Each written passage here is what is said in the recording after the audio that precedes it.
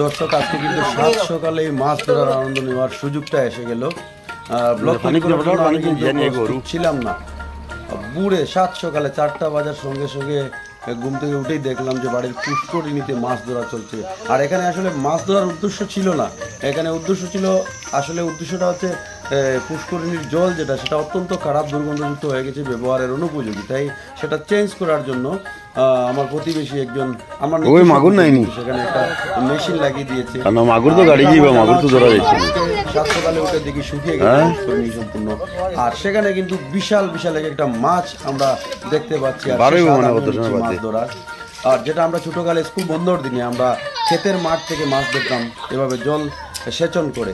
আর আজকে কিন্তু সেই স্বাদ আমরা বাড়িতে উপভোগ করছি। অনেক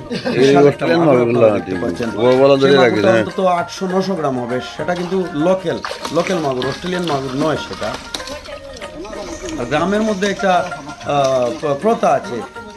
যে কারও পুষ্করিণী হোক বা যে কারও আগে। যেখানে মাছ ধরা শুরু হয় সেখানে প্রতিবেশী সবাই ছুটে আসে। কেউ কাউকে বাধাও দেন আর যদি দেই না কারণ সেটা কিন্তু দেখি স্যার দেখি। বলব যে সবার এখানে মাছ ধরার মাছ ক্রয় করার ক্ষমতা আছে কিন্তু মাছ ধরার যেটা অনুভূতি সেটা মাছ ধরার জন্য সবাই এসে ঝাঁপিয়ে পড়ে আমি চিনি। এখানে অনেকগুলো মাছ বড় বড় দেড় কেজি দু কেজি আমার মাপের লগে স্যান্ডেল গুলিয়ে যা। এবং বাউস ধরা পড়ছে। আর ছোট ছোট একশো দুশো গ্রামের পোনা মাছ পোনা মাছগুলো আমরা ভাবছি যে অন্য একটা পুষ্করিণী আছে সেটাতে ট্রান্সফার করে দেবো। আর বড় যেগুলো এখানে দেখতে পাচ্ছেন অনেকজন মাছ ধরতে এসেছে সবাই যদি আমরা একটা একটা নেই তো সেখানে আর মাছ পাবে বলে আমার মনে হয় না। দুইয়া হবে উনি কিন্তু মাছ ধরতে খুবই দক্ষ আর পাশে যিনি আছেন ওনার কিন্তু মাছ ধরার অনেক সরঞ্জাম রয়েছে। একটা জেনারেটর উনি কিনে নিয়েছেন অনেক জায়গায় জল সেচনের জন্য। আর যেহেতু একেবারে সাত সকাল, স্কুল, কলেজ এখনও শুরু হয়নি, সবাই এখানে কিন্তু অনেকজন সরকারি চাকরিজীবী লোক রয়েছেন। যেহেতু স্কুল টাইমের আগে এখন বাজে চারটা, তো সবাই সে স্বাদ নিচ্ছেন। আর এখানে দেখতে পাচ্ছেন আরেকটা লোকাল মাগুর, অন্তত সাতশো, আটশো গ্রাম হবে। একদম আমি কাছে থেকে দেখানোর চেষ্টা করব।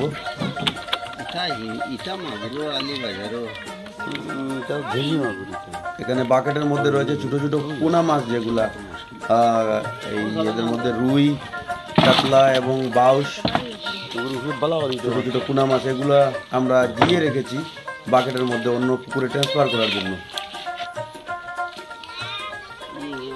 দর্শক এই মাছ ধরার স্বাদটা কিন্তু শহরের মানুষের নাগালের বাইরে কিন্তু। না না ঠিক আছে গ্রামীণ পরিবেশে এটা আমরা প্রায়ই দেখতে পাই।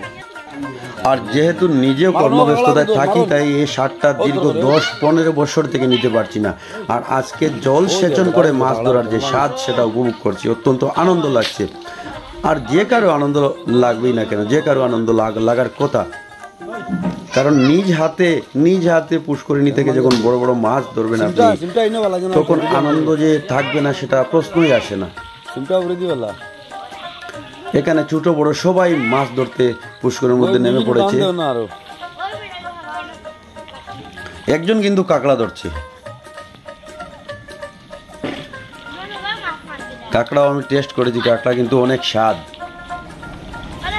এখানে পাঁচটা থেকে ছটা কাঁকড়াও পাওয়া গেছে।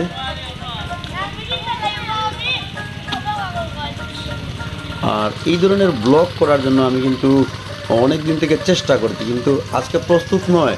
তবু এসে গেছে ব্লগটা তৈরি করার জন্য একবারে বাড়ির পুষ্করিণী দেখুন, এখানে বাকেটের মধ্যে জিয়ে রাখা হয়েছে, অনেকগুলো পোনা মাছ। আর এখানে রয়েছে দুটো বড়, আর ওই যে দেখছেন সেটাও কিন্তু বড় বড়। আর বাকি বাকেটেরগুলো পোনা মাছ সবগুলো আবার অন্যত্র ট্রান্সফার করা হবে।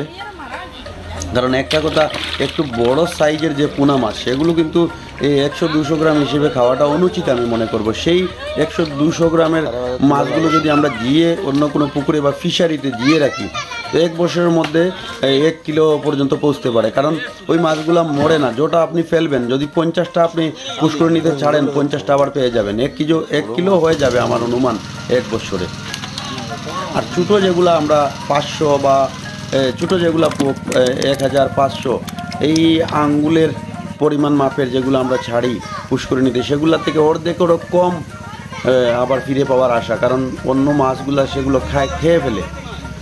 তো আমরা দেখেছি যে একটু বড় সাইজের যেগুলো পোনা মাছ সেগুলো জিয়েলে যে কোনো মানুষ যেগুলো বড় পোনা মাছ সেগুলো জিয়ে রাখলে পরবর্তীতে কিন্তু লাভবান হওয়ার সম্ভাবনা বেশি। আমরা অনেকেই মনে করি আমরা যারা বাড়িতে পুকুর আছে আমরা মনে করি যে মাছ শুধু কাদা আর হাওয়াতেই বেঁচে থাকে। সেটা আমরা ভুল ধারণা। মাছকে কিন্তু রীতিমতো তাদের খাদ্য। প্রত্যেক প্রাণীর প্রত্যেক জীবের কিন্তু খাদ্যের প্রয়োজন। খাদ্য খাদ্যের অভাবে কিন্তু মাছ বড় হবে না মাছ মারা পড়বে। আমরা কিন্তু বেশিরভাগ গ্রামাঞ্চলে মনে করি যে পুষ্করিণীতে মাছ ছেড়ে দিলেই হয়ে গেল। কাদা মাটি এবং জলকে এই হাওয়াকে এই বেঁচে যাবে কিন্তু সেটা আমাদের ভুল ধারণা। তাই আমরা দেখি ছ মাস সাত মাস পর্যন্ত আমাদের পুনাটা বড় হচ্ছে না। এর কারণ একটাই আমরা তাদেরকে খাদ্য সরবরাহ করি না। এবং আরেকটা কারণ আছে যেটা হচ্ছে পুষ্করিণীর পরিসর যেটা সে মাপ অনুযায়ী আমরা মাছের চারা সেখানে ফেলি না। আমরা দু হাজার তিন হাজার ছোটো একটা পুষ্করিণীতে দু হাজার তিন হাজার আমরা পোনা ফেলে রাখি। যার কারণে মাছগুলো বড় হয় না। ধন্য- ধন্যবাদ দর্শক, ব্লগটি ভালো লাগলে শেয়ার দেবেন এবং পেজে নতুন হয়ে থাকলে একটা ফলো দিয়ে রাখবেন।